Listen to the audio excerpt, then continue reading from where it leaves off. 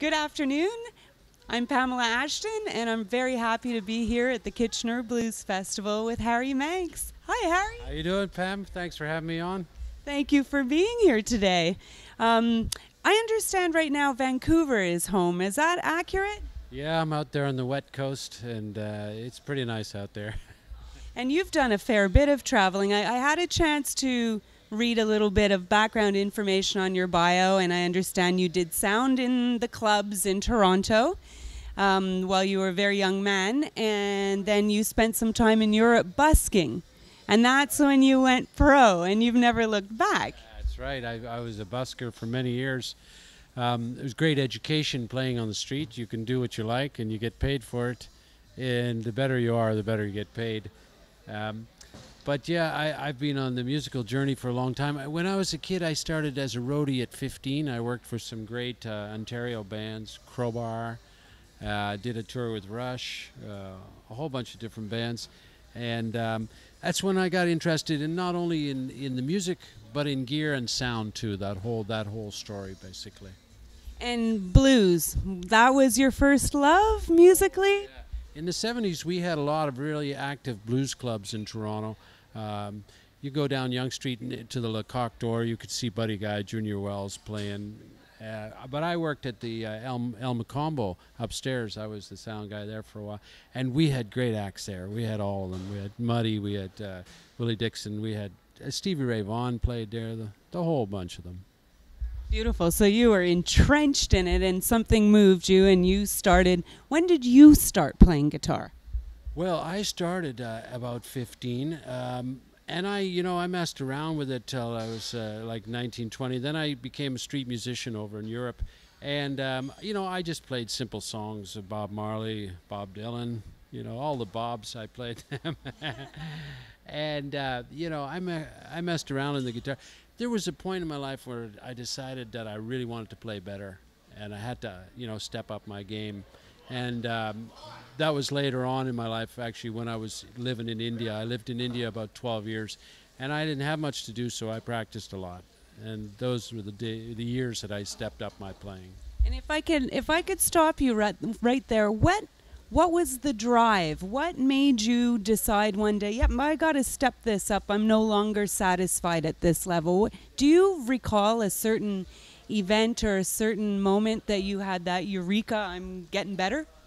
Yeah, actually, I do. Uh, you know, I was doing a kind of, um, you know, I was doing a kind of a, a, course, a kind of motivational course just for fun, you know, to see how this whole thing works. And the lady there was talking about, you know, well, you get your goal and then you just have to visualize all the things that between you and that goal, you know. So I was thinking, well, what would my goal be? Well, I'd like to be a bit better player. So then I realized, okay, if I did every day, you know, a couple hours, I'd get good in this time. So I decided to do like four or five hours a day, and I did that for five years, and um, that worked. I, I, also read um, an interesting story. It seems that humor is part of your your ambience, your energy. It, there's a there's a lightness and there's a joyfulness, and um, I I read a story about you rehearsing with your tutor and his family jamming at night after having a one of those four hour rehearsals. You just um, and you sneaking a little bit of blues in there, and them finding that kind of funny. Can can you tell us a little bit about that? Well, you know they for Indian musicians, um, classical music is a pretty serious affair, and we studied, you know, with that in mind. But at night, we used to sort of uh, loosen up and, and just jam, and we'd we'd play jam on Bollywood tunes, or, you know, they would play grooves, and and that's when I would play a little blues, and and uh, you know, they found that really funny that uh, sort of inject that into their Indian music and they loved the sound of it. And it was also very strange and foreign sound to them.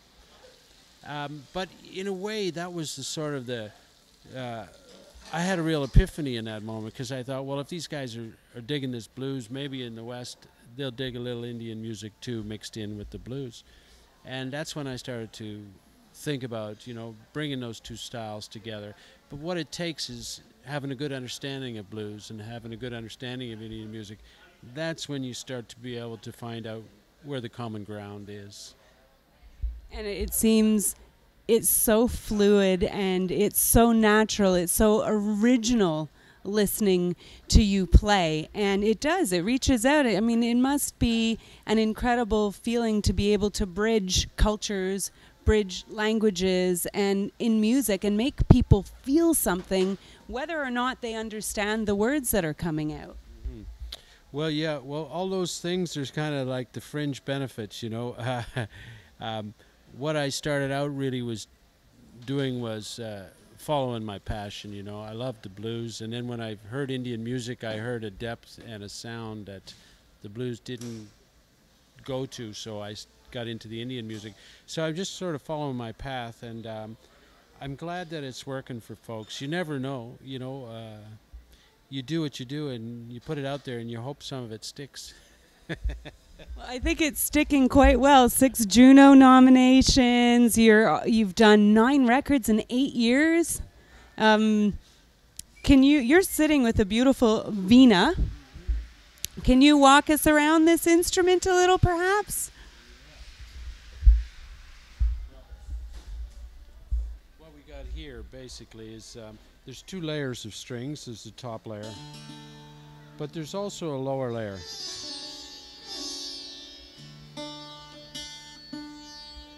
Now, when I play the, the top ones, the bottom ones sing by themselves because they're in tune. And I tune those bottom ones here, and I tune it to the particular scale of the song we're going to play, whatever song that is. So it's really um, the string arrangement is the same as the as the sitar. There's five chikaris. There's our context, and there's three strings to play on. Two D's and an A, which basically there's, you know, I'm basically playing on two strings because two of them are tuned the same out of the three. So it's it's not easy to play chords on this instrument. It's made for monotone scales and um, and playing in one key only. Um, but it is possible. I hint at chords, and uh, I play tunes with chords on this, but uh, it's not easy really. There's it has its really its limits. I'm sure tuning it is uh, an epic journey. Also. Yeah. Well, you'd spend the first. Uh, you'd spend the first year or so of playing this, uh, just learning how to tune it.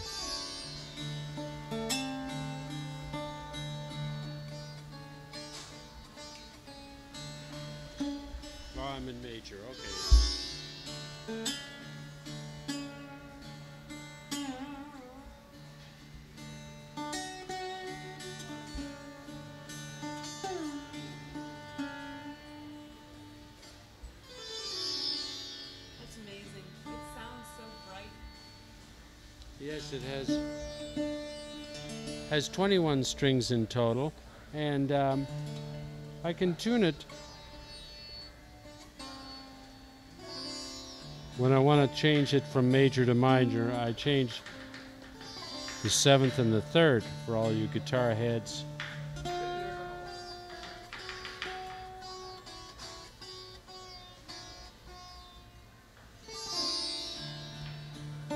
Take it down to minor.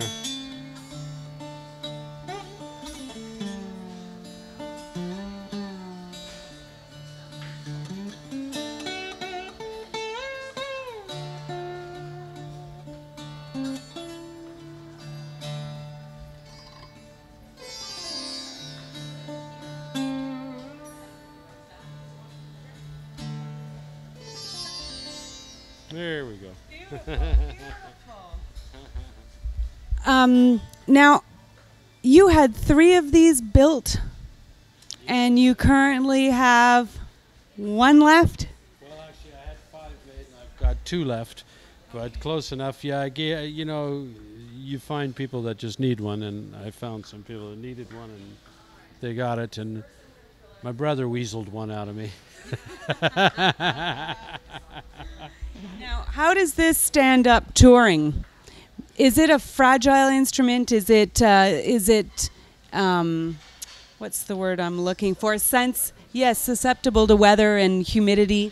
Oh no, it's not bad. You know, it's it's made from pretty cheap materials. Actually, it's made in India, handmade, without any electric uh, tools whatsoever. No electric drills or saws.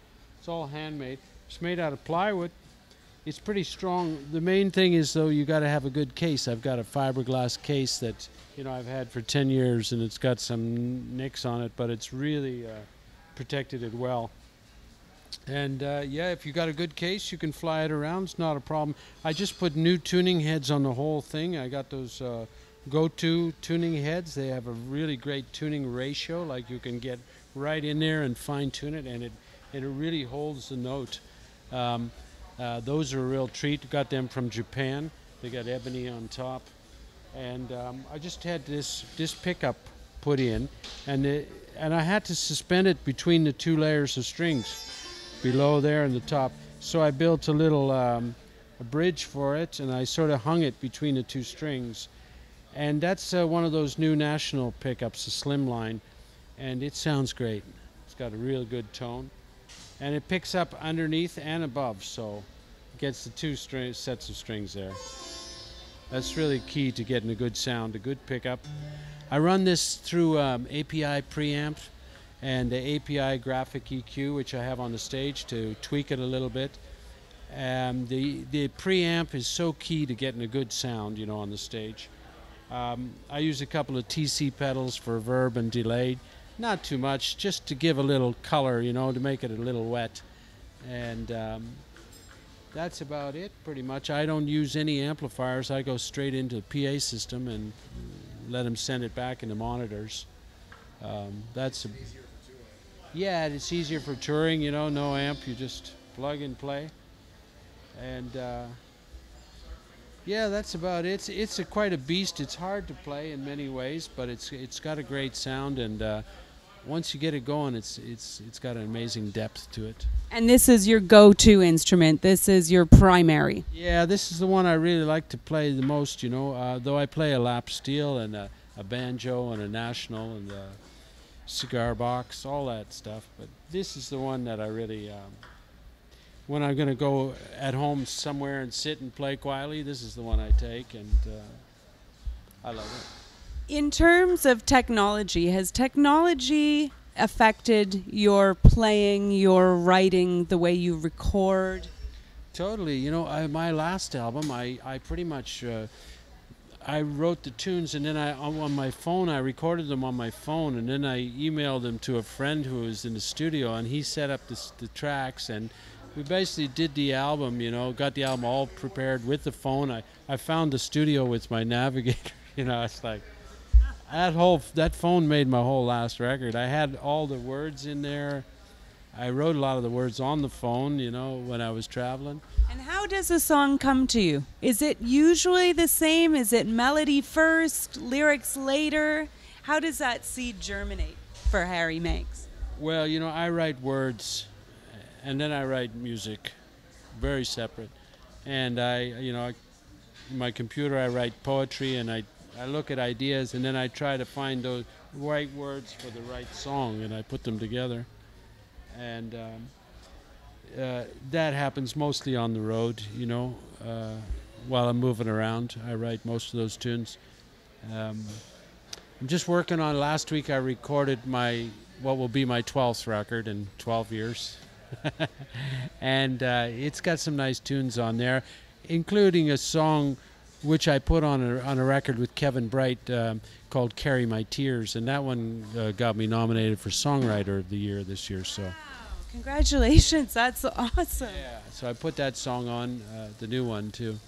And when can we expect that to hit stores? Uh, that'll come out in the fall, in the fall of 2012. Yeah, it should be good.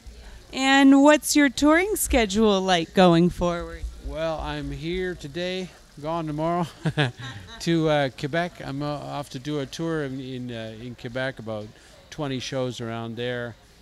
And then I think I'm going to Europe.